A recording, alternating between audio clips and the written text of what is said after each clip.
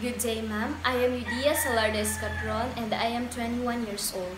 I am living in Villa Garcia, Sierra, Bullones, Bohol. And the reason why I choose this job is that it fits on the course that I am currently taking right now, since I am currently taking the course of Diploma in Midwifery. And the important skill that a midwife should possess is the communication skill.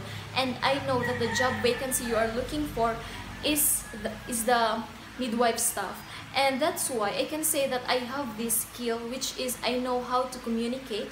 And this is very important for the midwives because a midwife should build rapport with his or her um, client and patient. And the only thing that I can say that I am very proud, especially that it belongs to my strength, is that I know how to manage my time. I am flexible enough in everything that I've been through. And also, even though or even though I know how to manage my time, because of that reality, I forgot to um, give enough time and space for myself. I forgot to rewind and I forgot to give time that I needed in myself, especially during weekdays, uh, weekends. And amidst that reality, I know that I can adjust since I, I know that I am flexible enough to manage everything. And also, we know that strength is ine inevitable by everyone.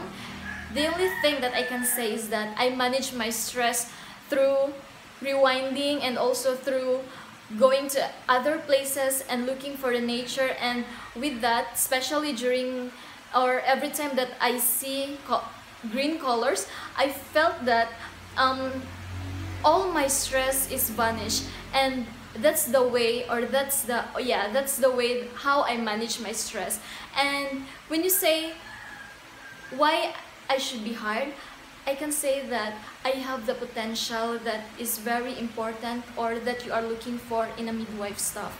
And all I can say that I will be a very great great asset in your company once or if I will be given the chance to be hired in your company and I will promise or I will do everything that I can so that I will be a very potential midwife in your company. So thank you so much for your time. Thank you.